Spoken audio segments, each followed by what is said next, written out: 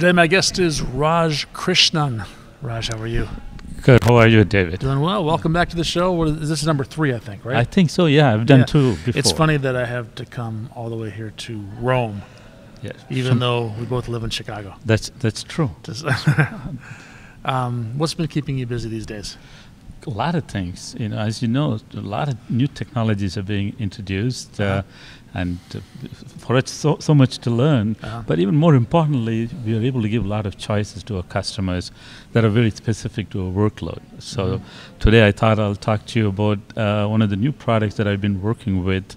Uh, which you know, one of my customers um, wanted to adopt this, and I thought that maybe a good opportunity for me to share with you what are the scenarios and where uh, this Yeah, solution can be used. So this is called Azure Data Explorer. Okay. Right? It's so That's not our- that new. uh, it's a good good uh, product name. Now we used to call it Kusto. I think ADX sounds a little better. Yeah, I didn't know it was, it was called what? Kusto. I didn't. I was before my time, I guess. Yes. so that's the reason is like you know one of the things that would we do is what we use internally, Mhm. we productize it. Right. Okay. Uh, so this is one such things that Microsoft has been using for a long time. Okay. So you, you take an example like uh, log analytics, Right. right? And then some of you may be even using application insights. hmm Uh, Right, and those are, and then the uh, security threat uh, uh, protection analysis. So, and if you look at all of them, there is one thing that's common: very high volume of data being ingested Mm-hmm. that needs to be queried in a relatively short time. Not not very real time, Okay. but almost real time. Maybe in the last five ten seconds or Okay. uh, things, and then you want to get the data uh, out of that and use it for a lot of um, monitoring and making some decisions. Yeah, maybe uh, send an alert if it's outside of some certain bounds, for yeah, example. exactly. And application insights is a great example, Yeah. right? People are monitoring how many users are there. Is my CPU uh, exceeding certain threshold?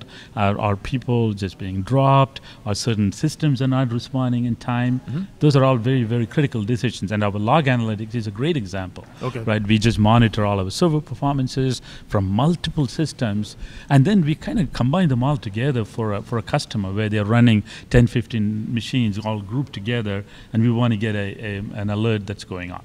So what this thing, what is unique about is that it is a very proprietary in-memory database Ah, that takes all this ingestion and then lends itself for real-time query.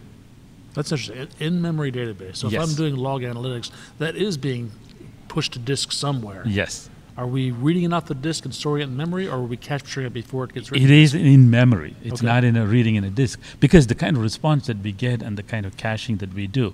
So, and, and so what this is, you should also then you, you ask a good question. But what does this mean? Is this is not going to be uh, my 10 years of data that are going to be stored. Okay. Right. It is probably a relatively short period of time. Hmm. We may push the older data and have new data come in, Hmm. but the data in itself does not lend very well into our rela- uh, relational database structure or even NoSQL. Hmm. Or, or, you know, it's a, it needs a lot more quicker response. Hmm. And so some of the things that it does is it's, um, it's a columnar store Okay. uh, and sharded across multiple. So several compute resources can get at it very quickly. Okay. And because it's a columnar indexes, it's very well, uh, it, uh, everything that you put in, it automatically indexes it Hmm. so that I can uh, run a query. Hey, I just want to know uh, what happened in the last 10 minutes where my compute response time is uh, uh, beyond a certain threshold. Hmm. So it can, it can do all that because it's all in memory. Um, and it stores it. Um, w- w- y- you can query it.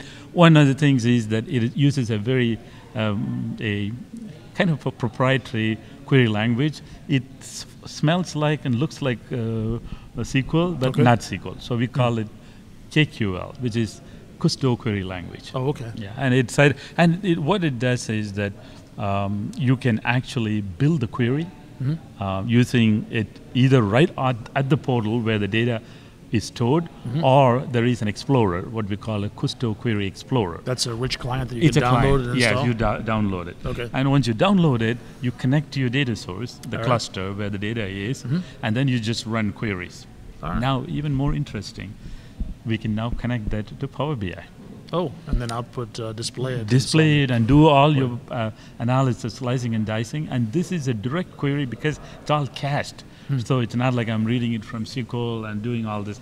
I'm connecting to the Kusto, and the data itself is cached. So I'm not doing any queries. So the response is much better. And um, you know, you're, you're just so you can also um, you know, um, um, let's say uh, create some pre-built um, Power BI uh, da- uh, queries. I won't say Power BI queries, the Kusto query. Okay. And then you connect Power BI to it, so it just uh, immediately displays uh, the data for you. So if you wanted to create a dashboard, a real-time dashboard. Real-time dashboard. So, so you might ask, you know, there will be a lot of other real-time tools. Like uh, you may take things like uh, Stream Analytics, Right. which is also uh, doing something similar. But the difference is instead of very real time, this one is what's done in the last 10 minutes. So if you look at application insights, there is one aspect where we do real time live, but most of the time it is, hey, I just want to know what happened in the last five, 10 minutes. I see. Right. And so what we do is at the Azure Data Explorer, we give you three ways to uh, ingest data. Mm-hmm. So one of them is using um, IoT Hub Okay. or Event Hub. So any of the telemetry data can be ingested into Kusto, into Okay. Azure Data Explorer. And typically, IoT solutions involve lots of tiny transactions. Exactly. And all those things can be put in. And then one of the things you do is, unlike uh, data warehousing or anything, you don't you don't try to design uh, anything. You just simply say, here is a um, Here's the raw bunch data. of data, raw data, and it indexes it. And then if you may get another lookup data, you just put it in, and it, you do some joins and queries, all done in memory, so you can uh, retrieve the data. Mm-hmm. So there's some setup. well. You have to understand what the schema is Yes. in order to do the joins and to write your queries. Yeah, and, and what we do when we create it, for example, is we'll create a schema uh, in the Kusto to say that, okay, this is the, my schema. You said it will create one. Does that mean I guide it to create that, or it You infers need, it you, the data? you need to create Okay. it and just say, okay, this data that's coming from here fits the schema, Mm-hmm. and so we, you know, uh, we can store it in a blob storage and then inject it into uh, Kusto. So you can either get it directly from Event Hub, Uh-huh. or sometimes, like not all of them are telemetry data, but they're still coming in bunch of. Um, Where, where do we find that? Is there a UI for defining that? or yes, is it so the it's in the portal. in the Azure portal. in the Azure portal. So if you go to, uh, first thing you'll do is you'll create a cluster. Okay. And the size of the cluster depends on the amount of memory that you need and, um, you know, what the type of queries, Mm-hmm. the compute power that you need. And then once you're there, it asks you, what are the data sources that then you can connect? oh, Ah, I want to okay. connect to my Event Hub. And then you provide all the connection strings for the Event Hub. Oh, I Hmm. want to connect to telemetry, then provide connection strings. Or I want to connect to a blob storage, provide the connection strings. Hmm. So I can just pump a bunch of data into blob storage. It'll actually uh, put it in, uh, in Kusto. Hmm. And so you keep pumping data, pumping data, and then you uh, run the queries once the data is there. Ah, see. It's like 200 billion records. I can do a query in about 1.3 or 1.4 seconds. Because it's in memory. It doesn't have to read memory. anything from disk. Yeah, and it does some some joins, and uh, so if I get a bunch of different files with a different schema, Mm. I can join them, and they're all indexed. Okay. So I can still do it. Like you know, it's not like it has to be all in one stream of data. There Mm. could be some kind of a denormalization of the table type of structure Mm. where I can join them and run some queries. Are there any limitations to this tool? Well, it's um, you know in terms of data store, we have like we have uh, petabytes of data in a day that's being uh, pushed into it. Hmm, okay. Uh, the only thing I would say is there could be cost implications because it's an in-memory data. Okay. So you don't want to do like a SQL data warehouse where I have um, 100, um, 10 years of da- data You want to think about what you're querying that day. what querying data, and then after that you may um, either remove it or put it in a blob storage. Mm-hmm. Uh, you can read in and out of uh, Kusto query, right? Take the data out and put it in a for a data lake or something. Okay. But then you put the active data in the uh, Kusto Explorer. We have like we, we have some variations of this. So the the log analytics, application insights, and there's something called time series uh, insight, which is also a service. Mhm. But all of the underlying engine is Azure Data Explorer. So we used to leave a productized version of this, the application insights, as an example. Oh, okay. Uh, time series insights is another example. Application Insights under the hood is using Azure using- Data yes. Explorer? Yeah, what, what we have done is we have further abstracted some of the things Like if you ever go to Application Insights, you can just go and say, hey, um, um, because they're all uh, based on JavaScript from web pages like mobile applications, it'll tell you, hey, uh, uh somebody came, I want to know when the, uh, somebody came to this page, and then how many people came to the next page, mm. how did they close the data? Right. We have something called funnel. Mm. Now behind the scene, it's all Kusto query that mm. we have abstracted all this, and then we have delivered a end product.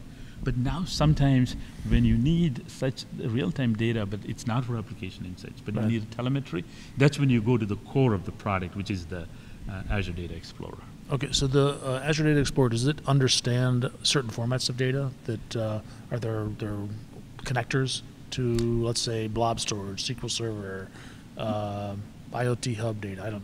Yeah, so we, you know, as the data comes in, uh, we put it in, the blob storage, Okay. or it, I can read it straight from the Event Hub, or straight Okay. from the IoT Hub. So, uh, but we don't have things like a. SQL connector. But what we do in that case is Mhm. that we have Azure Data Factory, Mhm. which has got a ADX connector. Mhm. So what I'll do is, uh, actually, as a matter of fact, one of the projects that I'm working with a customer is not necessarily telemetry data, but it is a forecasting data that's coming from multiple sources. Mhm. And the reason they looked at ADX was they use SSIS, and it takes them 14 to 15 hours to process all this data, Hmm. and then finally they uh, uh, output some Excel files to people to consume. Okay. So one of the concerns that they had was that they're having more and more mergers and acquisitions. They think by the time they process the data for today, the next day's data will already be there. Right. So it'll overlap. So what we so it's even though it's not a telemetry data, we took that use case and they say, okay, don't do any transformations. Just make it into reasonable denormalized data Mhm. and put them dump it directly and we'll take care of indexing and Hmm. then run the query directly um, on that. So when the data is not in the Event Hub or in a blob or um, uh, IoT Hub, what we do is we use Azure um, Data Factory to connect to that data source, Mhm. put it in the blob storage, and Okay. then inject it uh, into Okay, the so the easiest way to consume data is through blob storage. Yes, and, Oh, okay. or Event Hub or IoT. Or Event Hub, okay, Yeah. so Any th- those three are native. As soon as you go to the portal, when you say I want to add data, it'll give you these three options. Is this something that um, whenever I create a resource in Azure, I click that big green plus button that says create resource? Is this how I get started with this? Exactly, And, then you search for Data Explorer. Azure Data Explorer, it's called, Yeah. okay. And then it'll uh, give you a size of the cluster that you need, Mhm. and those that those are the areas. It is uh, there is a cost associated with because of uh, the in memory and the real time query. uh, what's the factors in that? Is it the amount of data you're consuming or the yes, number of the queries? size of the data and the compute that you need. Okay. If you're doing a lot of complex queries, you know that uh, that could also have an impact.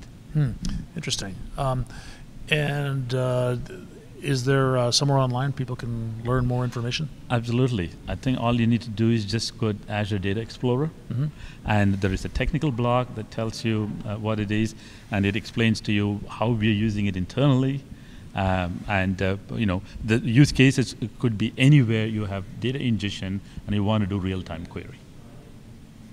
Very cool. Is there anything we haven't talked about that we should have on this topic? Oh no, I think you know what it's a, we're I'm kind of excited because this was never uh, uh, available to customers. Mhm. We only had an abstraction of this, Right. but now people can bring their own use cases, Mhm. and that's how you know I, got, I even I found this use case, Mhm. which is not a typical, uh, uh, Yeah. but so anyone who needs real-time query and in-memory database can leverage this. All right. I like the fact that actually it's been used for a while internally, which means that we've we've found a lot of the bugs, fixed the bugs ourselves, and Yes. uh, uh, before releasing it to the public. Yeah.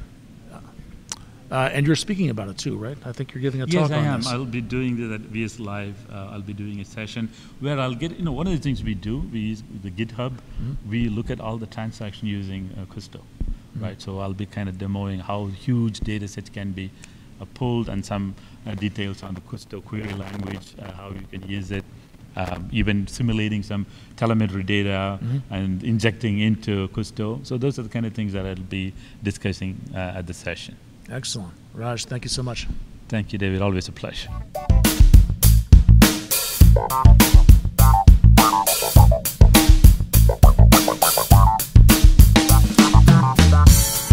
You know, one of the things that I find it very exciting is that I, you know, go to a lot of conferences, um, and even with people from other companies, maybe AWS and Google. But one thing I find is that we're all excited about technology, and it has allowed me to connect with many people, uh, you know, make new friends, and uh, uh, David is a great example. I think every time we meet each other, uh, we kind of talk about something new. Hey, do you have anything to share with the community? So it's uh, discussing about these things is not only just about technology, but it's about connecting with people, making friends, and sharing that we are all very passionate about.